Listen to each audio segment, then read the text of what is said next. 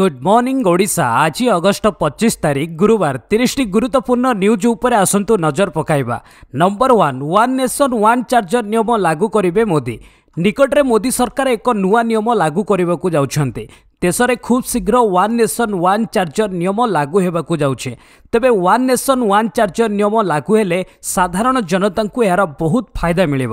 ଆଜିକାଲି ମୋବାଇଲ ଫୋନ୍ର ଚାହିଦା ବହୁତ ବଢ଼ିଥିବା ବେଳେ ଘରେ ଘରେ ପ୍ରତ୍ୟେକ ସଦସ୍ୟଙ୍କର ଏକାଧିକ ଫୋନ୍ ରହିଛି। ମୋଦି ସରକାରଙ୍କର ଏହି ନୂଆ ନିୟମ ଲାଗୁ ହେଲେ ଗୋଟିଏ ଚାର୍ଜରରେ ବାପା ମା ଭାଇ ଭଉଣୀ ପୁଅ ବୋହୂ ସମସ୍ତଙ୍କର ଫୋନ୍ ଚାର୍ଜ ହୋଇପାରିବ ନୂଆ ନିୟମ ଅନୁଯାୟୀ ସମସ୍ତ ଡିଭାଇସ୍ ପାଇଁ ଗୋଟିଏ ଚାର୍ଜର ରହିବ ଅଲଗା ଅଲଗା ଫୋନ୍ କି ଲ୍ୟାପଟପ୍ ପାଇଁ ଅଲଗା ଚାର୍ଜର ରଖିବାର ଆବଶ୍ୟକତା ପଡ଼ିବ ନାହିଁ ଯଦି ଭାରତ ସରକାର ଏହି ନିୟମ ଲାଗୁ କରନ୍ତି ତେବେ କିଛି ମୋବାଇଲ କମ୍ପାନୀଙ୍କୁ ଟାଇପ୍ ସି ପୋର୍ଟକୁ ବଦଳାଇବାକୁ ପଡ଼ିବ ନମ୍ବର ଟୁ ସାତ ରାଜ୍ୟରେ ପଞ୍ଚାୟତ ବିକାଶ ପାଇଁ ଏକ ହଜାର ଦୁଇଶହ ତେର କୋଟି ମଞ୍ଜୁରୀ ଓଡ଼ିଶାକୁ ଅଠାଅଶୀ ଦଶମିକ ସାତ ତିନି କୋଟି ଟଙ୍କା ଆସନ୍ତା ଚାରି ବର୍ଷ ମଧ୍ୟରେ ସାରା ଦେଶରେ ପଞ୍ଚାୟତର ବିକାଶ ପାଇଁ ପାଞ୍ଚ ହଜାର ନଅଶହ ଏଗାର କୋଟି ଟଙ୍କା ଖର୍ଚ୍ଚ ହେବ। ସଂଶୋଧିତ ରାଷ୍ଟ୍ରୀୟ ଗ୍ରାମ ସ୍ୱରାଜ ଅଭିଯାନ ଅନ୍ତର୍ଗତ କେନ୍ଦ୍ର ସରକାର ଏହା ସହ ଜଡ଼ିତ ଏକ ପ୍ରସ୍ତାବକୁ ଅନୁମୋଦନ କରିଛନ୍ତି। ଏଥିରେ କେନ୍ଦ୍ର ସରକାର ତିନି ହଜାର ସାତଶହ କୋଟି ଟଙ୍କା ଏବଂ ରାଜ୍ୟ ସରକାର ଦୁଇ ହଜାର ଦୁଇଶହ ଏଗାର କୋଟି ଟଙ୍କା ଖର୍ଚ୍ଚ କରିବେ। ଏହି ଲକ୍ଷ୍ୟ ହାସଲ ପାଇଁ ଉତ୍ତରପ୍ରଦେଶ ଉତ୍ତରାଖଣ୍ଡ ହିମାଚଳ ପ୍ରଦେଶ ଜମ୍ମୁ କାଶ୍ମୀର ଓଡ଼ିଶା ସିକିମ୍ ଏବଂ ତ୍ରିପୁରା ଆଦି ସାତଟି ରାଜ୍ୟରେ ଚଳିତ ଆର୍ଥିକ ବର୍ଷ ପାଇଁ ପଞ୍ଚାୟତ ରାଜ ମନ୍ତ୍ରାଳୟ ଏକ ହଜାର ଦୁଇଶହ ତେର ଦଶମିକ ପାଞ୍ଚ ସାତ କୋଟି ଟଙ୍କା ମୂଲ୍ୟର କାର୍ଯ୍ୟ ଯୋଜନାକୁ ଅନୁମୋଦନ କରିଛି। ଏଥିରେ ଉତ୍ତରପ୍ରଦେଶ ପାଇଁ ପାଞ୍ଚଶହ ଚଉଦ ଦଶମିକ ଛଅ ନଅ କୋଟି ଉତ୍ତରାଖଣ୍ଡ ପାଇଁ ଶହେ ଷୋହଳ ଦଶମିକ ସାତ ଏକ କୋଟି ହିମାଚଳ ପ୍ରଦେଶ ପାଇଁ ଶହେ ଚଉରାନବେ ଦଶମିକ ଛଅ ଶୂନ କୋଟି ଜମ୍ମୁ କାଶ୍ମୀର ଲାଗି ଦୁଇଶହ ଚଉତିରିଶ ଦଶମିକ ଆଠ ଦୁଇ କୋଟି ଓଡ଼ିଶା ନିମନ୍ତେ ଅଠାଅଶୀ ଦଶମିକ ସାତ ତିନି କୋଟି ଟଙ୍କା ସିକିମ୍ ପାଇଁ ଅଠେଇଶ ଦଶମିକ ଦୁଇ ନଅ କୋଟି ଏବଂ ତ୍ରିପୁରା ଲାଗି ପଇଁତିରିଶ ଦଶମିକ ସାତ ତିନି କୋଟି ଟଙ୍କା ମଞ୍ଜୁର ହୋଇଛି। ନମ୍ବର ଥ୍ରୀ ଧୀରେ ଧୀରେ କମିବ ମୁଦ୍ରାସ୍ଫୀତି। ଭାରତୀୟ ରିଜର୍ଭ ବ୍ୟାଙ୍କ ଆର୍ବିଆଇର ଗଭର୍ଣ୍ଣର ଶକ୍ତିକାନ୍ତ ଦାସ ମଙ୍ଗଳବାର ମୁଦ୍ରାସ୍ଫୀତିକୁ ନେଇ ଉଭୟ ଆର୍ବିଆଇ ଏବଂ ସରକାରଙ୍କ ଆଭିମୁଖ୍ୟ ସମ୍ପର୍କରେ ମତ ରଖିଛନ୍ତି। ବର୍ତ୍ତମାନ ସମୟରେ ଉପରମୁହାଁ ହୋଇ ରହିଥିବା ମୁଦ୍ରାସ୍ଫୀତିକୁ ଧୀରେ ଧୀରେ ଚାରି ପ୍ରତିଶତକୁ ହ୍ରାସ କରାଇବା ଦିଗରେ କେନ୍ଦ୍ରୀୟ ବ୍ୟାଙ୍କ କାର୍ଯ୍ୟ କରୁଛେ। ଏପରିକି କେନ୍ଦ୍ରୀୟ ବ୍ୟାଙ୍କ ବର୍ତ୍ତମାନ ପ୍ରତ୍ୟେକ ତଥ୍ୟ ଉପରେ ନଜର ରଖିବା ସହ ଆସନ୍ତା ଦୁଇ ବର୍ଷ ମଧ୍ୟରେ ମୁଦ୍ରାସ୍ଫୀତିକୁ ନିୟନ୍ତ୍ରଣ ରଖିବା ପାଇଁ ଆର୍ବିଆଇ ଲକ୍ଷ୍ୟ ରଖିଛି। ସେହିପରି ଗତ ଚାରି ମାସରେ ଆର୍ବିଆଇ ତିନିଥର ରେପୋ ହାରରେ ସୁଧାର ଆଣିଥିବା ବେଳେ ଅର୍ଥନୀତି ଉପରେ ମଧ୍ୟ କାର୍ଯ୍ୟ କରୁଛି ବୋଲି ଶକ୍ତିକାନ୍ତ ମତବ୍ୟକ୍ତ କରିଛନ୍ତି। ନମ୍ବର ଫୋର୍ ବଢ଼ିଲା ପିନାକର ଲକ୍ଷ୍ୟଭେଦ କ୍ଷମତା ପୋଖରାନରେ ସଫଳ ପରୀକ୍ଷଣ। ଦେଶର ପ୍ରତିରକ୍ଷା ପାଇଁ ନୂତନ ଅସ୍ତ୍ରଶସ୍ତ୍ରର ବିକାଶରେ ନିୟୋଜିତ ଥିବା ପ୍ରତିରକ୍ଷା ଅନୁସନ୍ଧାନ ଏବଂ ବିକାଶ ସଂଗଠନ ଡିଆର୍ଡିଓ ପିନାକ ରକେଟ୍ର ଲକ୍ଷ୍ୟଭେଦ କ୍ଷମତାକୁ ବୃଦ୍ଧି କରିଛି। ରକେଟ୍ର ବିସ୍ତାରିତ ଲକ୍ଷ୍ୟଭେଦ କ୍ଷମତା ରାଜସ୍ଥାନର ପୋଖରାନ ଫାୟାରିଂ ରେଞ୍ଜରେ ସଫଳତାର ସହ ପରୀକ୍ଷଣ କରାଯାଇଛି। ପ୍ରତିରକ୍ଷା ଅନୁସନ୍ଧାନ ଏବଂ ବିକାଶ ସଂଗଠନର ଜଣେ ଅଧିକାରୀ କହିଛନ୍ତି ଯେ ଏହା ଏହି ରକେଟ୍କୁ ବିକଶିତ କରାଯାଇଛି। ନମ୍ବର ଫାଇଭ୍ ମେଡିକାଲ ଚେକଅପ୍ ପାଇଁ ପୁଅ ଝିଅଙ୍କ ସହ ବିଦେଶ ଯିବେ ସୋନିଆ। ସ୍ୱାସ୍ଥ୍ୟଗତ ସମସ୍ୟା ଦେଇ ଗତି କରୁଥିବା କଂଗ୍ରେସର ଅନ୍ତରୀଣ ଅଧ୍ୟକ୍ଷ ସୋନିଆ ଗାନ୍ଧୀ ଖୁବ୍ ଶୀଘ୍ର ବିଦେଶ ଗସ୍ତ କରିବେ। ବିଦେଶରେ ସ୍ୱାସ୍ଥ୍ୟାବସ୍ଥା ଯାଞ୍ଚ କରିବା ପାଇଁ ସେ ଯାଉଛନ୍ତି। ତାଙ୍କ ସହ ପୁଅ ରାହୁଲ ଓ ଝିଅ ପ୍ରିୟଙ୍କା ଗାନ୍ଧୀ ଭଦ୍ରା ମଧ୍ୟ ବିଦେଶ ଗସ୍ତ କରିବେ। ତେବେ ପରିବାର ଲୋକଙ୍କ ସହ ସୋନିଆ କେଉଁ ଦେଶକୁ ଯିବେ ଓ କେବେ ଯିବେ ସେ କଥା ଜଣାପଡ଼ିନି। କେବଳ ସୋନିଆ ରାହୁଲ ଓ ପ୍ରିୟଙ୍କା ମେଡିକାଲ ଚେକଅପ୍ ପାଇଁ ବିଦେଶ ଗସ୍ତରେ ଯିବେ ବୋଲି କଂଗ୍ରେସ ପକ୍ଷରୁ କୁହାଯାଇଛି। ନମ୍ବର ସିକ୍ସ ବିବାଦୀୟ ଫଟୋ ପାଇଁ କ୍ଷମା ମାଗିଲେ ଫିନଲାଣ୍ଡ ପ୍ରଧାନମନ୍ତ୍ରୀ ସନ୍ନା ମରିନ୍ ବିବାଦୀୟ ଫଟୋକୁ ନେଇ କଡ଼ା ସମାଲୋଚନାର ଶିକାର ହେବା ପରେ ମଙ୍ଗଳବାର ଜନତାଙ୍କୁ କ୍ଷମା ମାଗିଛନ୍ତି ଫିନଲାଣ୍ଡର ପ୍ରଧାନମନ୍ତ୍ରୀ ସନ୍ନା ମରିନ୍। ସନ୍ନା ତାଙ୍କ ଘରେ ଏହି ବିବାଦୀୟ ଫଟୋଟି ସୁଟ୍ କରିଥିଲେ। ଏହାର ସପ୍ତାହ ପୂର୍ବରୁ ମଧ୍ୟ ଏକ ପାର୍ଟିକୁ ନେଇ ବିବାଦ ଘେରକୁ ଆସିଥିଲେ ଛତିଶ ବର୍ଷୀୟ ଫିନଲାଣ୍ଡ ପ୍ରଧାନମନ୍ତ୍ରୀ ସନା ମରିନ୍। ଫିନଲାଣ୍ଡ ମିଡିଆରେ ଭାଇରାଲ ହେଉଥିବା ଫଟୋରେ ଦୁଇ ମହିଳା ପରସ୍ପରକୁ ଚୁମା ଦେଉଥିବାର ଦେଖିବାକୁ ମିଳୁଛି ଏବଂ ଦୁହିଁଙ୍କ ଛାତିରେ ଫିନଲାଣ୍ଡ ଲେଖା ଥିବାର ଦେଖିବାକୁ ମିଳିଛି। ନମ୍ବର ସେଭେନ୍ ଗହମ ପରେ ବଢ଼ିଲା ରିଟେଲ ଚାଉଳ ଦର। ଜନତାଙ୍କୁ ଲଗାତାର ମହଙ୍ଗା ମାଡ଼ ପଡ଼ୁଛି। ଏବେ ଲୋକଙ୍କ ଭାତ ଥାଳି ମହଙ୍ଗା ହେବ। ସପ୍ଲାଏ ସମ୍ପର୍କିତ ଚିନ୍ତାରେ ଗହମ ପରେ ଏବେ ଚାଉଳ ମୂଲ୍ୟ ବୃଦ୍ଧି ହେବାକୁ ଯାଉଛି। ଗତ ବର୍ଷର ସମାନ ଅବଧି ତୁଳନାରେ ଚାଉଳର ଅଲ୍ ଇଣ୍ଡିଆ ଏଭରେଜ୍ ରିଟେଲ୍ ମୂଲ୍ୟରେ ଛଅ ଦଶମିକ ତିନି ଏକ ପ୍ରତିଶତ ମୂଲ୍ୟ ବୃଦ୍ଧି ସହ କେଜି ପିଛା ଦର ସଇଁତିରିଶ ଟଙ୍କା ସତୁରି ପଇସାକୁ ପହଞ୍ଚିଛି। ଚାଉଳର ଦର ନିର୍ଦ୍ଧାରଣ ଜାରି ଖରିଫ ଋତୁର ଧାନ ବୁଣା ଉପରେ ନିର୍ଭର କରେ। ଅନିୟମିତ ମୌସୁମୀ ଯୋଗୁଁ ଚାଷ ହ୍ରାସ ମୂଲ୍ୟ ବୃଦ୍ଧିର କାରଣ ପାଲଟିଛି। ନମ୍ବର ଏଇଟ୍ ଉତ୍ତର ଓଡ଼ିଶାର ଜିଲ୍ଲାରେ ପ୍ରବଳରୁ ଅତି ପ୍ରବଳ ବର୍ଷା ସମ୍ଭାବନା କହିଲେ ଏସ୍ଆର୍ସି ଆଗାମୀ ଦୁଇ ଦିନ ମଧ୍ୟରେ ଉତ୍ତର ଓଡ଼ିଶାରେ ପ୍ରବଳରୁ ଅତି ପ୍ରବଳ ବର୍ଷା ହେବାର ସମ୍ଭାବନା ରହିଛି। ପାଣିପାଗ ସ୍ଥିତି ନେଇ ସ୍ୱତନ୍ତ୍ର ରିଲିଫ୍ କମିଶନରଙ୍କ ପକ୍ଷରୁ ସମସ୍ତ ଜିଲ୍ଲାପାଳଙ୍କୁ ସତର୍କ ସୂଚନା ଜାରି କରାଯାଇଛି। ଆଞ୍ଚଳିକ ପାଣିପାଗ ବିଜ୍ଞାନ କେନ୍ଦ୍ର ପକ୍ଷରୁ କୁହାଯାଇଛି ଯେ ଛବିଶ ତାରିଖ ସକାଳ ଆଠଟା ପର୍ଯ୍ୟନ୍ତ ଉତ୍ତର ଓଡ଼ିଶାର କିଛି ଜିଲ୍ଲାରେ ପ୍ରବଳରୁ ଅତି ପ୍ରବଳ ବର୍ଷା ହେବାର ଆକଳନ କରାଯାଉଛି। ପାଣିପାଗ ବିଭାଗର ସୂଚନା ଅନୁସାରେ ପଚିଶ ତାରିଖରେ ମୟୂରଭଞ୍ଜ ଓ ସୁନ୍ଦରଗଡ଼ ଜିଲ୍ଲାକୁ ଅରେଞ୍ଜ ୱାର୍ଣ୍ଣିଂ ଜାରି ହୋଇଛି। ଏହି ଦୁଇଟି ଜିଲ୍ଲାରେ ସାତରୁ କୋଡ଼ିଏ ସେଣ୍ଟିମିଟର ବର୍ଷା ହୋଇପାରେ। ନମ୍ବର ନାଇନ୍ ପଞ୍ଜାବରେ ହୋମି ଭାବା କ୍ୟାନ୍ସର ହସ୍ପିଟାଲର ଉଦ୍ଘାଟନ କଲେ ପ୍ରଧାନମନ୍ତ୍ରୀ ନରେନ୍ଦ୍ର ମୋଦି। ପ୍ରଧାନମନ୍ତ୍ରୀ ନରେନ୍ଦ୍ର ମୋଦି ବୁଧବାର ପଞ୍ଜାବର ମୋହାଲିରେ ହୋମି ଭାବା କର୍କଟ ଡାକ୍ତରଖାନାର ଉଦ୍ଘାଟନ କରିଛନ୍ତି। ଏହି ସମୟରେ ପ୍ରଧାନମନ୍ତ୍ରୀ କହିଛନ୍ତି ଯେ ଭାରତକୁ ବିକଶିତ କରିବା ପାଇଁ ଏହାର ସ୍ୱାସ୍ଥ୍ୟସେବା ବିକାଶ କରିବା ମଧ୍ୟ ସମାନ ଗୁରୁତ୍ୱପୂର୍ଣ୍ଣ। ସେ କହିଛନ୍ତି ଯେ ଯେତେବେଳେ ଭାରତର ଲୋକେମାନେ ଚିକିତ୍ସା ଆଧୁନିକ ସୁବିଧା ପାଇଁ ଆଧୁନିକ ଡାକ୍ତରଖାନା ପାଇବେ ସେତେବେଳେ ସେମାନେ ଶୀଘ୍ର ସୁସ୍ଥ ହୋଇଯିବେ।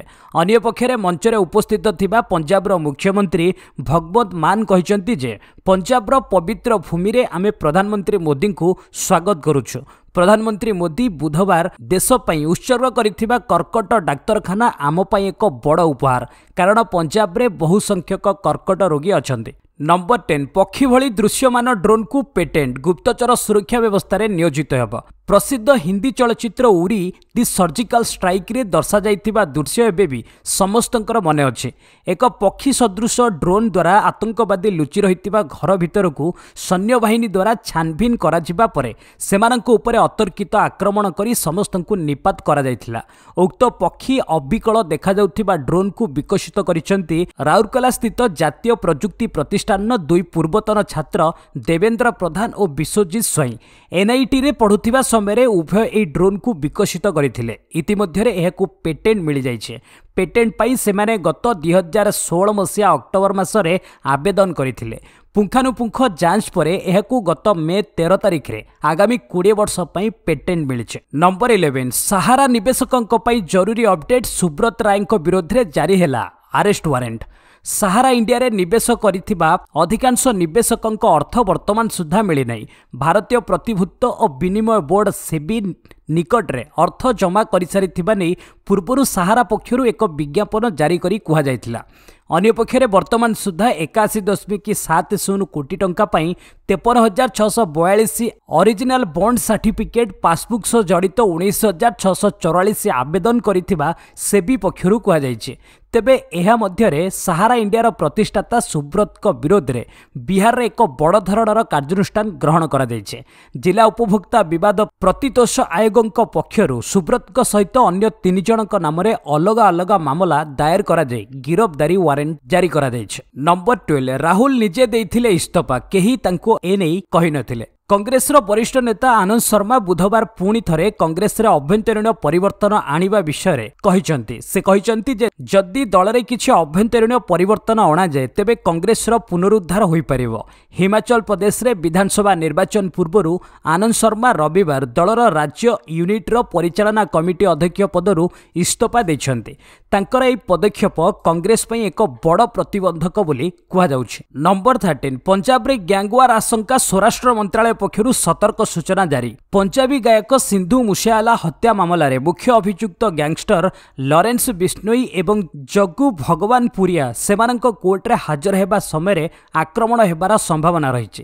ଏ ସମ୍ପର୍କରେ କେନ୍ଦ୍ରୀୟ ସ୍ୱରାଷ୍ଟ୍ର ମନ୍ତ୍ରାଳୟ ପଞ୍ଜାବର ଡିଜିପି ଗୌରବ ଯାଦବଙ୍କୁ ଚିଠି ଲେଖି ସତର୍କ କରାଇଛନ୍ତି। ମନ୍ତ୍ରାଳୟ ଚିଠିରେ କହିଛି ଯେ ଆମେ ନିର୍ଭରଯୋଗ୍ୟ ସୂତ୍ରରୁ ସୂଚନା ପାଇଛୁ ଯେ ଦବିନ୍ଦର ପାମ୍ବିହା ଗ୍ୟାଙ୍ଗ ସହ ଜଡ଼ିତ ଗ୍ୟାଙ୍ଗଷ୍ଟରମାନେ ଲରେନ୍ସ ଏବଂ ଜଗ୍ଗୁଙ୍କୁ କୋର୍ଟର ଶୁଣାଣି ସମୟରେ ଆକ୍ରମଣ କରିପାରନ୍ତି। ନମ୍ବର ଫର୍ଟିନ୍ ମୋବାଇଲ ଆପ୍ ଦ୍ୱାରା ଦେଶରେ ବୃଦ୍ଧି ପାଉଛି ଆତଙ୍କବାଦ ନେଟୱାର୍କ। ଏନ୍ଆଇଏ ରିପୋର୍ଟରୁ ସ୍ପଷ୍ଟ।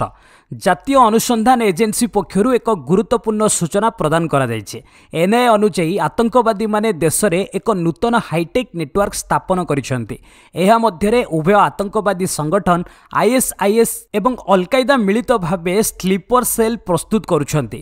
ଏହି ଆତଙ୍କବାଦୀ ସଂଗଠନଗୁଡ଼ିକ ଏଥିପାଇଁ ଟେକ୍ନୋଲୋଜିର ସାହାଯ୍ୟ ନେଉଛନ୍ତି। ବାସ୍ତବରେ ଆତଙ୍କବାଦୀ ସଂଗଠନଗୁଡ଼ିକ ମୋବାଇଲ ଆପ୍କୁ ନିଜ ନିଜ ମଧ୍ୟରେ ଯୋଗାଯୋଗ ପାଇଁ ବ୍ୟବହାର କରୁଛନ୍ତି। ଏହି ଆତଙ୍କବାଦୀ ସଂଗଠନ ଦେଶର ବିଭିନ୍ନ ରାଜ୍ୟରେ ସକ୍ରିୟ ଅଛନ୍ତି। ଆତଙ୍କବାଦୀ ସଂଗଠନଗୁଡ଼ିକ ସେମାନଙ୍କ ଗୁପ୍ତଚର ଆଲୋଚନା ପାଇଁ ମୋବାଇଲ ଆପ୍ର ସାହାଯ୍ୟ ନେଉଛନ୍ତି। ଯୋଗାଯୋଗ ପରେ ସେମାନେ ମଧ୍ୟ ଆପ୍ ଡିଲିଟ୍ କରନ୍ତି ଯାହାଦ୍ୱାରା ସେମାନେ ସହଜରେ ଚିହ୍ନଟ ହୋଇପାରିବେ ନାହିଁ। ତେବେ ନିକଟରେ ସୋସିଆଲ ମିଡିଆ ଚାଟ୍ ମାଧ୍ୟମରେ ଏହି ଆତଙ୍କବାଦୀ ଗୋଷ୍ଠୀଙ୍କୁ ଖୋଜିବାରେ ଏନ୍ଆଇଏ ସଫଳତା ହାସଲ କରିଛି। ନମ୍ବର ଫିଫ୍ଟିନ୍ ବାଦ ବିବାଦ ପରେ ଇସ୍ତଫା ଦେଲେ ବାଚସ୍ପତି ବିଜୟ ସିହ୍ନା। ବିହାରରେ ନୂଆ ମହାମେଣ୍ଟ ସରକାର ବୁଧବାର ନିଜର ସଂଖ୍ୟାଗରିଷ୍ଠତା ପ୍ରମାଣ କରିବାର ଥିଲା। କିନ୍ତୁ ମୁଖ୍ୟମନ୍ତ୍ରୀ ନୀତିଶ କୁମାରଙ୍କ ଶକ୍ତି ପରୀକ୍ଷା ପୂର୍ବ ବହୁ ବାଦ ବିବାଦ ପରେ ବିଧାନସଭା ବାଚସ୍ପତି ବିଜୟ କୁମାର ସିହ୍ନା ଇସ୍ତଫା ଦେଇଛନ୍ତି। ସେ ମଙ୍ଗଳବାର ଆର୍ଜେଡି ଦେଇଥିବା ଅବିଶ୍ୱାସ ପ୍ରସ୍ତାବ ନୋଟିସକୁ ପ୍ରତ୍ୟାଖ୍ୟାନ କରିଥିଲେ। ବିହାର ବିଧାନସଭା ବାଚସ୍ପତି ବିଜୟ କୁମାର ସିହ୍ନାଙ୍କ ଇସ୍ତଫା ପରେ ଗୃହର କାର୍ଯ୍ୟକୁ ସ୍ଥଗିତ ରଖାଯାଇଛି। ନୂଆ ବାଚସ୍ପତି ଦାୟିତ୍ୱ ନେବା ପରେ ବିଧାନସଭା ପୁଣି ସ୍ୱାଭାବିକ ଭାବେ କାର୍ଯ୍ୟ କରିବ। ଏନେଇ ନୂଆ ବାଚସ୍ପତି ନିଯୁକ୍ତି ନେଇ ପ୍ରକ୍ରିୟା ଆରମ୍ଭ ହୋଇଛି। ନମ୍ବର ସିକ୍ସଟିନ୍ ଏଣିକି ସପ୍ତାହକୁ ଚାଳିଶ ଘଣ୍ଟା କାମ କରିବେ କର୍ମଚାରୀ। ଆସିବ ବିଲ୍। ଦୈନିକ ଆଉ ଅଧିକ ସମୟ କାମ କରିବାକୁ ପଡ଼ିବ ନାହିଁ। ଖୁବ୍ ଶୀଘ୍ର କର୍ମଚାରୀମାନେ ସପ୍ତାହକୁ ଚାଳିଶ ଘଣ୍ଟା କାମ କରିବେ। କର୍ମଚାରୀଙ୍କ ଦୈନିକ କାମର ଚାପ ହ୍ରାସ କରିବା ପାଇଁ ଚିଲି ସରକାର ସ୍ୱତନ୍ତ୍ର ବିଲ୍ ଆଣିବେ। ଏନେଇ ନିଜେ ରାଷ୍ଟ୍ରପତି ଗାବ୍ରିଏଲ ବୋରିକ୍ ଘୋଷଣା କରିଛନ୍ତି। ରାଷ୍ଟ୍ରପତି ବୋରିକ୍ ନିର୍ବାଚନ ବେଳେ ମଧ୍ୟ ସାପ୍ତାହିକ କାର୍ଯ୍ୟ ସମୟ ହ୍ରାସ କରିବେ ବୋଲି ମଧ୍ୟ ପ୍ରତିଶ୍ରୁତି ଦେଇଥିଲେ। ଏବେ ଏହାକୁ ପୂରଣ କରିବା ପାଇଁ ବିଲ୍ ଆସିବ ବୋଲି କହିଛନ୍ତି। ନମ୍ବର ସେଭେଣ୍ଟିନ୍ ଇଶାନିନ୍ଦା ଆଇନ ପାଲଟିଛି ହିନ୍ଦୁଙ୍କ ଉପରେ ଅତ୍ୟାଚାରର ମାଧ୍ୟମ। ଦୁଇ ହଜାର ଏକୋଇଶରେ ପାଞ୍ଚଶହ ପଞ୍ଚାଅଶୀ ଗିରଫ। ପାକିସ୍ତାନରେ ହିନ୍ଦୁ ସମେତ ଅନ୍ୟ ସଂଖ୍ୟାଲଘୁଙ୍କ ଉପରେ ଅତ୍ୟାଚାର ବାଧ୍ୟତାମୂଳକ ଧର୍ମ ପରିବର୍ତ୍ତନ ଏବଂ ହତ୍ୟା ଘଟଣା କ୍ରମାଗତ ଭାବେ ବୃଦ୍ଧି ପାଉଛି। ଇଶାନିନ୍ଦା ଆଇନ ଦେଶର ସଂଖ୍ୟାଲଘୁ ସମ୍ପ୍ରଦାୟ ଉପରେ ଅତ୍ୟାଚାର ସବୁଠାରୁ ବଡ଼ ମାଧ୍ୟମ ଭାବରେ ଉଭା ହୋଇଛି। ନିକଟରେ ହାଇଦ୍ରାବାଦରେ ଏହା ସହ ଜଡ଼ିତ ଏକ ନକଲି ମାମଲାରେ ହିନ୍ଦୁ ସମ୍ପ୍ରଦାୟର ଅଶୋକ କୁମାର ଭିଡ଼ ଅଶୋକ କୁମାର ଭିଡ଼ ହିଂସାର ସମ୍ମୁଖୀନ ହୋଇଥିଲେ। ଏହାପରେ ପୁଲିସ ତାଙ୍କୁ ଗିରଫ କରିଥିଲା। ପାକିସ୍ତାନ ମାନବିକ ଅଧିକାର ଅନୁଯାୟୀ କେବଳ ଦୁଇ ହଜାର ଏକୋଇଶ ମସିହାରେ ସମଗ୍ର ଦେଶରେ ଇଶା ନିନ୍ଦା ଅଭିଯୋଗରେ ପାଞ୍ଚଶହ ପଞ୍ଚାଅଶୀ ଜଣଙ୍କୁ ଗିରଫ କରାଯାଇଥିଲା। ଏଥିସହିତ ଧାର୍ମିକ ଅହମ୍ମଦିଆ ସମ୍ପ୍ରଦାୟ ବିରୁଦ୍ଧରେ ଶହେରୁ ଅଧିକ ମାମଲା ପଞ୍ଜୀକୃତ ହୋଇଥିବା ବେଳେ ବିଭିନ୍ନ ସ୍ଥାନରେ ତିନି ଜଣ ସଂଖ୍ୟାଲଘୁଙ୍କୁ ହତ୍ୟା କରାଯାଇଥିବା ରିପୋର୍ଟ ହୋଇଛି। ନମ୍ବର ଏଇଟିନ୍ ୟୁକ୍ରେନ୍ ଛାଡ଼ିବାକୁ ଆମେରିକୀୟଙ୍କୁ ପରାମର୍ଶ। ସୋଭିଏତ୍ ସଂଘରୁ ଅଲଗା ହୋଇଥିବା ୟୁକ୍ରେନ୍ ବୁଧବାର ଏହାର ଏକତିରିଶତମ ସ୍ୱାଧୀନତା ଦିବସ ପାଳନ କରିବାକୁ ଯାଉଥିବା ବେଳେ ଏହି ଦିନ ରୁଷିଆ କିବ୍ ଉପରେ ବଡ଼ ଧରଣର ଆକ୍ରମଣ ଯୋଜନା କରିଥିବା ଆଶଙ୍କା ରହିଛି। ସାଧାରଣ ନାଗରିକ ଏବଂ ସରକାରୀ ଭିତ୍ତିଭୂମିକୁ ମସ୍କୋ ଟାର୍ଗେଟ୍ କରିବା ଭୟ ଥିବାରୁ ୟୁକ୍ରେନ୍ ଛାଡ଼ିବାକୁ ଆମେରିକା ମଙ୍ଗଳବାର ଏହାର ନାଗରିକମାନଙ୍କୁ ପରାମର୍ଶ ଦେଇଛି। ସ୍ୱାଧୀନତା ଦିବସରେ ଆକ୍ରମଣ କଲେ ରୁଷିଆକୁ ମୁହଁତୋଡ଼ ଜବାବ ଦିଆଯିବ ବୋଲି ୟୁକ୍ରେନ୍ ରାଷ୍ଟ୍ରପତି ଭୋଲଦିମିର୍ ଜେଲେନସ୍କି କହିଛନ୍ତି।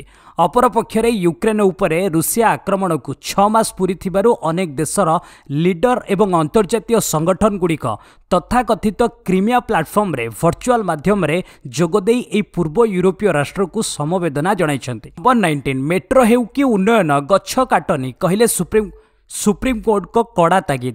ମୁମ୍ବାଇ ମେଟ୍ରୋ ରେଳ କର୍ପୋରେସନକୁ ସୁପ୍ରିମକୋର୍ଟଙ୍କ କଡ଼ା ଚେତାବନୀ। ମେଟ୍ରୋ ଟ୍ରେନ୍ ହେଉ କି ଉନ୍ନୟନ ଯାହା କରୁଛ କର ହେଲେ ମୁମ୍ବାଇର ଆର୍ୟ କଲୋନୀରେ ଗଛ କାଟନି। ଯଦି କୌଣସି ନିୟମ କିମ୍ବା ନିର୍ଦ୍ଦେଶକୁ ଉଲ୍ଲଙ୍ଘନ କର ତେବେ କଡ଼ା କାର୍ଯ୍ୟାନୁଷ୍ଠାନ ଗ୍ରହଣ କରାଯିବ। ଜଷ୍ଟିସ୍ ୟୁ ୟୁ ଲଲିତଙ୍କ ଅଧ୍ୟକ୍ଷତାରେ ତିନିଜଣିଆ ଖଣ୍ଡପୀଠ ମାମଲାର ଶୁଣାଣି କରି ଏହି ରାୟ ଦେଇଛନ୍ତି। କୋର୍ଟ କହିଛନ୍ତି ଯେ ଏହି ମାମଲାର ଆଗାମୀ ଶୁଣାଣି ଅଗଷ୍ଟ ତିରିଶରେ ହେବ। ନମ୍ବର ଟ୍ୱେଣ୍ଟି ସିଞ୍ଜୋ ଆବେଙ୍କ ରାଷ୍ଟ୍ରୀୟ ଅନ୍ତିମ ସଂସ୍କାରରେ ଯୋଗ ଦେବେ ମୋଦି ଜାପାନର ପୂର୍ବତନ ପ୍ରଧାନମନ୍ତ୍ରୀ ସିଞ୍ଜୋ ଆବେଙ୍କ ରାଷ୍ଟ୍ରୀୟ ଅନ୍ତିମ ସଂସ୍କାର ଆସନ୍ତା ସେପ୍ଟେମ୍ବର ସତେଇଶରେ ଅନୁଷ୍ଠିତ ହେବ ଏହି କାର୍ଯ୍ୟକ୍ରମରେ ଭାରତର ପ୍ରଧାନମନ୍ତ୍ରୀ ନରେନ୍ଦ୍ର ମୋଦି ଯୋଗ ଦେବେ ବୋଲି ଜାପାନର news agency Kyodo news report ପ୍ରକାଶ କରିଛି। ମୋଦି ନିଜର ଏହି ଜାପାନ ଗସ୍ତ କାଳରେ ଜାପାନ ପ୍ରଧାନମନ୍ତ୍ରୀ ଫିମୁଓ କିସିଦାଙ୍କୁ ସାକ୍ଷାତ କରିବେ। ଆବେଙ୍କ ପ୍ରଧାନମନ୍ତ୍ରୀତ୍ୱ କାଳରେ ଭାରତ ଓ ଜାପାନ ମଧ୍ୟରେ ଦ୍ୱିପାକ୍ଷିକ ସମ୍ପର୍କ ନିବିଡ଼ ହୋଇଥିଲା। ପୁଣି ଆମେରିକା ଜାପାନ ଭାରତ ଅଷ୍ଟ୍ରେଲିଆକୁ ନେଇ ଗଠିତ କ୍ୱାଡ୍ ମେଣ୍ଟର ପରିକଳ୍ପନା ଆବେ ହିଁ କରିଥିଲେ। ଆବେ ଓ ମୋଦିଙ୍କ ମଧ୍ୟରେ ଘନିଷ୍ଠ ମିତ୍ରତା ଥିଲା। ତେଣୁ ମୋଦି ବ୍ୟକ୍ତିଗତ ଭାବେ ଜାପାନ ଯିବାକୁ ନିଷ୍ପତ୍ତି ନେଇଛନ୍ତି। ନମ୍ବର ଟ୍ୱେଣ୍ଟି ୱାନ୍ ବାରବାଟୀରେ ହେବ ଲିଜେଣ୍ଡସ୍ କ୍ରିକେଟ୍ ଲିଗ୍। ବାରବାଟୀରେ ହେବ ଲିଜେଣ୍ଡସ୍ ଲିଗ୍ କ୍ରିକେଟ୍। ସେପ୍ଟେମ୍ବର ଷୋହଳରୁ ଅକ୍ଟୋବର ଆଠ ପର୍ଯ୍ୟନ୍ତ ଏହି ଲିଗ୍ ଅନୁଷ୍ଠିତ ହେବ। ଏହି ଲିଗ୍ରେ ବାରବାଟୀରେ ତିନୋଟି ମ୍ୟାଚ୍ ଖେଳାଯିବ। ସେପ୍ଟେମ୍ବର ସତେଇଶରୁ ତିରିଶ ମଧ୍ୟରେ ବାରବାଟୀ ମ୍ୟାଚ୍ ହେବ। ଚାରୋଟି ଟିମ୍ ଲିଜେଣ୍ଡସ୍ ଲିଗ୍ କ୍ରିକେଟରେ ଭାଗ ନେବେ। ଆଇପିଏଲ୍ ଢାଞ୍ଚାରେ ହେବ ଲିଗ୍। ଅବସର ନେଇଥିବା ବହୁ ଅନ୍ତର୍ଜାତୀୟ କ୍ରିକେଟର ଏଥିରେ ଭାଗ ନେବେ। କୋଲକାତା କଟକ ଲକ୍ଷ୍ନୌ ଦିଲ୍ଲୀ ଯୋଧପୁର ରାଜକୋଟ ଭଳି ଛଅଟି ସହରରେ ମ୍ୟାଚ୍ ହେବ। ନମ୍ବର ଟ୍ୱେଣ୍ଟି ଟୁ ଭୁବନେଶ୍ୱର ରାଉରକେଲାରେ ହକି ପ୍ରୋ ଲିଗ୍ ଉଭୟ ସହରରେ ବାର ମ୍ୟାଚ୍। ଆସନ୍ତା ଅକ୍ଟୋବରରେ ଆରମ୍ଭ ହେବାକୁ ଥିବା ଏଫ୍ଆଇଏଚ୍ ପ୍ରୋ ଲିଗ୍ ହକି ପ୍ରତିଯୋଗିତା ଭୁବନେଶ୍ୱର ସହ ରାଉରକେଲାରେ ଖେଳାଯିବ। ମଙ୍ଗଳବାର ଅନ୍ତର୍ଜାତୀୟ ହକି ମହାସଂଘ ରାଉରକେଲାକୁ ଭୁବନେଶ୍ୱର ପରେ ଦ୍ୱିତୀୟ ଭାରତୀୟ ଆୟୋଜକ ସହର ଭାବେ ତାର ସୂଚୀ ସାମିଲ କରିଛି। ଉଭୟ ଭେନ୍ୟୁରେ ପ୍ରୋ ଲିଗ୍ର ମୋଟ ବାର ମ୍ୟାଚ୍ ଆୟୋଜିତ ହେବ ଯାହା ଓଡ଼ିଶା ହକି ପାଇଁ ଏକ ବଡ଼ ଖୁସି ଖବର ରହିଛି ଜାନୁଆରୀ ଦୁଇ ହଜାର ତେଇଶରେ ଖେଳାଯିବାକୁ ଥିବା ପୁରୁଷ ହକି ବିଶ୍ୱକପ୍ ପାଇଁ ପ୍ରସ୍ତୁତି ପର୍ବ ସ୍ୱରୂପ ଏଭଳି ନିଷ୍ପତ୍ତି ନିଆଯାଇଥିବା ଜଣାପଡ଼ିଛି। ବିଶ୍ୱକପ୍ ମଧ୍ୟ ଉଭୟ ଭୁବନେଶ୍ୱର ଏବଂ ରାଉରକେଲାରେ ଖେଳାଯିବ। ରାଉରକେଲାରେ ବିଶ୍ୱକପ୍ ଲାଗି ଏକ ନୂଆ ବିଶ୍ୱସ୍ତରୀୟ ଷ୍ଟାଡିୟମ ନିର୍ମାଣ କରାଯାଇଛି। ନମ୍ବର ଟ୍ୱେଣ୍ଟି ଥ୍ରୀ ବିଶ୍ୱ ବ୍ୟାଡମିଣ୍ଟନ ପ୍ରି କ୍ୱାର୍ଟରରେ ସାଇନା ଲଣ୍ଡନ ଅଲମ୍ପିକ୍ କାଂସ୍ୟ ବିଜୟ ଭାରତୀୟ ତାରକା ସାଇନା ନେହୱାଲ ଏଠାରେ ଚାଲିଥିବା ବିଶ୍ୱ ବ୍ୟାଡମିଣ୍ଟନ ପ୍ରତିଯୋଗିତାର ପ୍ରି କ୍ୱାର୍ଟର ଫାଇନାଲରେ ପ୍ରବେଶ କରିଛନ୍ତି ମଙ୍ଗଳବାର ମହିଳା ଏକକରେ ସାଇନା ସିଧାସଳଖ ଏକୋଇଶ ଉଣେଇଶ ଏକୋଇଶ ନଅରେ ହଂକଂର ଚିଉଙ୍ଗାନ୍ ଇଙ୍କୁ ପରାସ୍ତ କରିଥିଲେ। ଏହି ମ୍ୟାଚ୍ ଜିତିବାକୁ ସାଇନାଙ୍କୁ ମାତ୍ର ଅଠତିରିଶ ମିନିଟ୍ ଲାଗିଥିଲା। ତାଙ୍କର ଦ୍ୱିତୀୟ ରାଉଣ୍ଡ ପ୍ରତିଦ୍ୱନ୍ଦ୍ୱୀ ନାଜୋମି ଓକୁହରା ଆହତ ଯୋଗୁଁ ଓହରିଯିବାରୁ ବତିଶ ବର୍ଷିଆ ସାଇନା ବାଇ ପାଇ ପ୍ରି କ୍ୱାର୍ଟର ଫାଇନାଲ ସ୍ଥାନ ନିଶ୍ଚିତ କରିଛନ୍ତି। ସେହିଭଳି ମହିଳା ଯୁଗଳରେ ଭାରତୀୟ ଯୋଡ଼ି ତ୍ରିଶା ଜଲି ଓ ଗାୟତ୍ରୀ ଗୋପୀଚାନ୍ଦ ଓ ଅଶ୍ୱିନୀ ଭଟ୍ଟ ଓ ଶିଖା ଗୌତମ ବିଜୟରୁ ଅଭିଯାନ ଆରମ୍ଭ କରିଛନ୍ତି। ନମ୍ବର ଟ୍ୱେଣ୍ଟି ଫୋର୍ ୟୁଏସ୍ ଓପନ୍ରୁ ଓହରିଲେ ସାନିଆ। ଆସନ୍ତା ସପ୍ତାହରୁ ନ୍ୟୁୟର୍କରେ ଆରମ୍ଭ ହେଉଥିବା grand slam tennis tournament US ଓପନ୍ରୁ ଭାରତୀୟ ତାରକା ଖେଳାଳି ସାନିଆ ମିର୍ଜା ଓହରି ଯାଇଛନ୍ତି। ତାଙ୍କ ମାଂସପେଶୀରେ ଆଘାତ ଲାଗିଥିବାରୁ ସାନିଆ ଏପରି ନିଷ୍ପତ୍ତି ନେଇଛନ୍ତି। ପଇଁତିରିଶ ବର୍ଷ ବୟସ୍କା ସାନିଆ ଚଳିତ ବର୍ଷ ପ୍ରାରମ୍ଭରେ ଘୋଷଣା କରିଥିଲେ ଯେ ଦୁଇହଜାର ବାଇଶ ଋତୁ ପରେ ସେ ଟେନିସ୍ରୁ ଅବସର ନେଇଯିବେ। ତେଣୁ ବର୍ଷର ଅନ୍ତିମ ଗ୍ରାଣ୍ଡସ୍ଲାମ୍ ଟୁର୍ଣ୍ଣାମେଣ୍ଟରୁ ଓହରିଯିବା କାରଣରୁ ଏହା ସ୍ପଷ୍ଟ ହୋଇଯାଇଛି ଯେ ସାନିଆ ଜୀବନରେ ଆଉ କୌଣସି ଗ୍ରାଣ୍ଡସ୍ଲାମ୍ ଖେଳିବେ ନାହିଁ। ନମ୍ବର ଟ୍ୱେଣ୍ଟି ଫାଇଭ୍ ଏସିଆ କପ୍ରେ ଫେରିବ ଫର୍ମ ନୂଆ ବ୍ୟାଟ୍ରେ ଖେଳିବେ ବିରାଟ କୋହଲି। ଆଉ ଦିନ କେଇଟା ପରେ ଆରମ୍ଭ ହେବ ଏସିଆ କପ୍ ଟୁର୍ଣ୍ଣାମେଣ୍ଟ ଏହି ପ୍ରତିଯୋଗିତାରେ କୋହଲିଙ୍କୁ ଦେଖିବାକୁ ମିଳିବ ନୂଆ ରୂପରେ ଖାସ୍ କରି ଏଥର ଏସିଆ କପ୍ରେ ବିରାଟ କୋହଲି ନୂଆ ବ୍ୟାଟ୍ରେ ଖେଳିବେ କୋହଲି ସମ୍ପ୍ରତି ଏମ୍ଆର୍ଏଫ୍ ସହ ଚୁକ୍ତିବଦ୍ଧ ଅଛନ୍ତି। ତାଙ୍କ ପାଇଁ ଏମ୍ଆର୍ଏଫ୍ ଏକ ସ୍ୱତନ୍ତ୍ର ଗୋଲ୍ଡ ଏଡିସନ୍ ବ୍ୟାଟ୍ ପ୍ରସ୍ତୁତ କରିଛି। ଫଳରେ ତାଙ୍କ ବ୍ୟାଟ୍ରେ ସେହି ପାରମ୍ପରିକ ନାଲି ରଙ୍ଗର ଏମ୍ଆର୍ଏଫ୍ ଷ୍ଟିକର ଲାଗିବାର ଦେଖିବାକୁ ମିଳିବ ନାହିଁ। ଏହା ବଦଳରେ କୋହଲିଙ୍କ ନୂଆ ବ୍ୟାଟ୍ରେ ସୁନେଲି ରଙ୍ଗର ଏମ୍ଆର୍ଏଫ୍ ଲେଖା ଷ୍ଟିକର ଲଗାଯାଇଥିବ। ନୂଆ ବ୍ୟାଟ୍ କୋହଲିଙ୍କ ଫର୍ମ ଫେରାଇ ଆଣିବ ବୋଲି ପ୍ରଶଂସକ ଆଶା ବାନ୍ଧିଛନ୍ତି। ନମ୍ବର ଟ୍ୱେଣ୍ଟି ସିକ୍ସ ଫିଲ୍ମ ଜଗତରେ ପାଦ ରଖିବାକୁ ଯାଉଛନ୍ତି ଆଉ ଜଣେ କ୍ରିକେଟର ପୂର୍ବତନ ଭାରତୀୟ cricketer Irfan Pathan Tamil film Cobra ସହିତ ଅଭିନୟ ଜଗତରେ ପାଦ ଥାପିବାକୁ ଯାଉଛନ୍ତି। ଏହି ଫିଲ୍ମର ଟିଜର ରିଲିଜ୍ ହୋଇଛି। ତାମିଲ ସିନେମା ସୁପରଷ୍ଟାର ଚିଆନ୍ ବିକ୍ରମଙ୍କ ଏହି ଫିଲ୍ମର ଟିଜର ବହୁତ ଶକ୍ତିଶାଳୀ ରହିଛି। ଚିଆନ୍ ଏହି ଫିଲ୍ମରେ ସାତରୁ ଅଧିକ ଚରିତ୍ରରେ ଅଭିନୟ କରୁଛନ୍ତି। ଏହି ଫିଲ୍ମର ସଙ୍ଗୀତକୁ ଏ ଆର୍ ରେହମାନ ରଚନା କରିଛନ୍ତି। ଫିଲ୍ମଟି ତାମିଲ ଏବଂ ତେଲୁଗୁ ଭାଷାରେ ଅଗଷ୍ଟ ଏକତିରିଶରେ ମୁକ୍ତିଲାଭ କରିବ। ଏହି ଫିଲ୍ମରେ ଇରଫାନ ଜଣେ ପୋଲିସ ଅଧିକାରୀ ଭୂମିକାରେ ଅଭିନୟ କରୁଛନ୍ତି। ନମ୍ବର ଟ୍ୱେଣ୍ଟି ସେଭେନ୍ ସେପ୍ଟେମ୍ବର ଦୁଇରେ ଏଆଇଏଫ୍ଏଫ୍ ନିର୍ବାଚନ। Committee of administrators committee of ଆଡମିନିଷ୍ଟ୍ରେଟର୍ସକୁ ରଦ୍ଦ କରାଯିବା ପରେ ଭାରତୀୟ ଫୁଟବଲ ସଂଘ ଏଆଇଏଫ୍ଏଫ୍ ପକ୍ଷରୁ ଏହାର ସଂଶୋଧିତ ନିର୍ବାଚନ ତାରିଖ ଘୋଷଣା କରାଯାଇଛି। ସୋମବାର ସୁପ୍ରିମକୋର୍ଟଙ୍କର ଦୁଇ ଜଣିଆ ଖଣ୍ଡପୀଠ ଉମେଶ ସିହ୍ନା ଓ ତାପସ ଭଟ୍ଟାଚାର୍ଯ୍ୟଙ୍କୁ ରିଟର୍ଣ୍ଣିଂ ଅଫିସର ନିଯୁକ୍ତି କରିଥିବା ବେଳେ ଆସନ୍ତା ଗୁରୁବାରଠାରୁ ନାମାଙ୍କନ ଆରମ୍ଭ ହେବ। ଗୁରୁବାରରୁ ଶନିବାର ଯାଏ ନାମାଙ୍କନ ଦାଖଲର ସମୟ ରହିଛି। ରବିବାର ପ୍ରାର୍ଥୀପତ୍ର ଗୁଡ଼ିକର ବୈଧତା ଯାଞ୍ଚ ହେବ। ଏହାପରେ ବୈଧ ଥିବା ନାମାଙ୍କନ ପ୍ରତ୍ୟାହାର ପାଇଁ ଅଗଷ୍ଟ ଅଣତିରିଶ ତାରିଖକୁ ଧାର୍ଯ୍ୟ କରାଯାଇଛି। ଅଗଷ୍ଟ ତିରିଶ ତାରିଖରେ ଚୂଡ଼ାନ୍ତ ପ୍ରାର୍ଥୀ ତାଲିକା ଏଆଇଏଫ୍ଏଫ୍ ୱେବସାଇଟ୍ରେ ଉଲ୍ଲେଖ କରାଯିବ। ସେପ୍ଟେମ୍ବର ଦୁଇ ତାରିଖରେ ଭୋଟ ଗ୍ରହଣ ହେବା ସହିତ ସମ୍ମାନ ଦିନରେ କିମ୍ବା ତିନି ତାରିଖରେ ଫଳାଫଳ ପ୍ରକାଶ ପାଇବ। ଏହା ସହିତ ଏଆଇଏଫ୍ଏଫ୍ ଉପରୁ ବାସନ୍ଦା ଦେଶ ହଟାଇବା ପାଇଁ ଫିଫା ନିକଟରେ ଆବେଦନ କରାଯାଇଛି। ନମ୍ବର ଟ୍ୱେଣ୍ଟି ମହାରାଷ୍ଟ୍ର ବ୍ୟବସାୟୀଙ୍କ ବଦାନ୍ୟତା କ୍ରିକେଟର ବିନୋଦ କାମ୍ବଲିଙ୍କୁ ଦେଲେ ଲକ୍ଷାଧିକ ଟଙ୍କାର ଚାକିରି ଅଫର। ଆର୍ଥିକ ସଙ୍କଟରେ ଥିବା ପୂର୍ବତନ ଭାରତୀୟ କ୍ରିକେଟରଙ୍କୁ ଅଫର ଦେଲେ ଏକ ଲକ୍ଷ ଦରମାର ଚାକିରି। କ୍ରିକେଟରଙ୍କ ଦୁସ୍ଥିତି ସମ୍ପର୍କରେ ଜାଣିବା ପରେ ଆଗେଇ ଆସିଲେ ମୁମ୍ବାଇର ବ୍ୟବସାୟୀ। ପ୍ରସିଦ୍ଧ କ୍ରିକେଟର ବିନୋଦ କାମ୍ବଲି ଆର୍ଥିକ ସଙ୍କଟରେ ଥିବାରୁ ତାଙ୍କୁ ଏକ କ୍ରିକେଟ ସମ୍ବନ୍ଧୀୟ ଚାକିରି ଦେବା ପାଇଁ ସେ ଅପିଲ କରିଥିଲେ। ଏହାପରେ ଏପରି ଖବର ସାମ୍ନାକୁ ଆସିଛି। ନମ୍ବର ଟ୍ୱେଣ୍ଟି ନାଇନ୍ ପୁଣି ବଢ଼ିଲା ଦୈନିକ ସଂକ୍ରମଣ। ଦେଶରେ ଗତ ଚବିଶ ଘଣ୍ଟାରେ ଦୈନିକ ସଂକ୍ରମଣ ଦଶ ହଜାର ଉପରେ ରହିଛି। ଏହା ଦଶ ହଜାର ଛଅଶହ ଅଣଚାଶ ରହିଛି। ଗୋଟିଏ ଦିନ ତଳେ ଏହା ଆଠ ହଜାର ପାଞ୍ଚଶହ ଛୟାଅଶୀ ଥିଲା। ସେହିପରି ଗତ ଚବିଶ ଘଣ୍ଟାରେ ମୃତ୍ୟୁ ସଂଖ୍ୟା କମି ଛତିଶରେ ପହଞ୍ଚିଛି। ଗୋଟିଏ ଦିନ ତଳେ ଏହା ଅଡ଼ଚାଳିଶ ଥିଲା। ଏହି ସମୟରେ ସକ୍ରିୟ ମାମଲା ଛୟାନବେ ହଜାର ଚାରିଶହ ବୟାଳିଶରେ ପହଞ୍ଚିଛି। ଗୋଟିଏ ଦିନ ତଳେ ଏହା ଛୟାନବେ ହଜାର ପାଞ୍ଚଶହ ଛଅ ଥିଲା। ସେହିପରି ଚବିଶ ଘଣ୍ଟାରେ ଦଶ ହଜାର ଛଅଶହ ସତସ୍ତରୀ ଜଣ ସୁସ୍ଥ ହୋଇଛନ୍ତି। ଗୋଟିଏ ଦିନ ତଳେ ଏହା ନଅ ହଜାର ଛଅଶହ ଅଶୀ ଥିଲା। ଇତିମଧ୍ୟରେ ଦେଶରେ ମହାମାରୀ ମୃତଙ୍କ ସଂଖ୍ୟା ପାଞ୍ଚ ଲକ୍ଷ ସତେଇଶ ହଜାର ଚାରିଶହ ବାଉନ ଛୁଇଁଛି। ନମ୍ବର ଥାର୍ଟି ରାଜ୍ୟରେ ଚିହ୍ନଟ ହେଲେ ଦୁଇଶହ ଛୟାନବେ ମହାମାରୀ ପଜିଟିଭ୍। ଗତ ଚବିଶ ଘଣ୍ଟାରେ ରାଜ୍ୟରେ ଆଉ ଦୁଇଶହ ଛୟାନବେ ଜଣ ନୂଆ ମହାମାରୀ ପଜିଟିଭ୍ ଚିହ୍ନଟ ହୋଇଛନ୍ତି। ନୂଆ ସଂକ୍ରମିତଙ୍କ ମଧ୍ୟରୁ ଶହେ ସତଚାଳିଶ ସଂକ୍ରମିତ କ୍ୱାରେଣ୍ଟାଇନ୍ ସେଣ୍ଟରରୁ ହୋଇଥିବା ବେଳେ ଶହେ ବାଇଶ ଜଣ ସ୍ଥାନୀୟ ସଂକ୍ରମିତ ରହିଛନ୍ତି। ସେହିପରି ଅଠର ବର୍ଷରୁ କମ୍ ବୟସର ପିଲା ଚଉରାଳିଶ ଜଣ ରହିଛନ୍ତି। ବସ୍ ଆଜି ପାଇଁ ଏଇଠି ରଖିବା ପୁଣି ନେଇ ଆସିବି ଲେଟେଷ୍ଟ ଅପଡେଟ୍ ସେ ପର୍ଯ୍ୟନ୍ତ ବିଦାୟ ନେଉଛେ। ଜୟ ହିନ୍ଦ ଜୟ ଭାରତ।